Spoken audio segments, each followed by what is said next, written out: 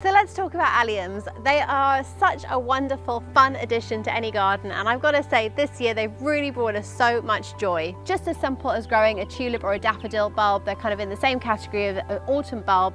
You take your bulbs, you put them in the ground, super easy, leave them for the winter and then hey presto, and they come up in the spring, summer. What's really nice about them is that they kind of flower after your other flowers. First of all, we had our hyacinths, then we had our tulips, then we had our daffodils and then once once all of those are over, then the alliums come into their full glory. So you really get a nice run. If you can put in what we did, the hyacinths, tulips, daffodils and alliums, you really get a run of colour all the way through to summer until everything else is flowering. And I would definitely recommend planting in clusters. So really, you know, don't just stick kind of one or two bulbs in, really try and stick in, you know, kind of 10, 20 bulbs so you really get a nice kind of display like this.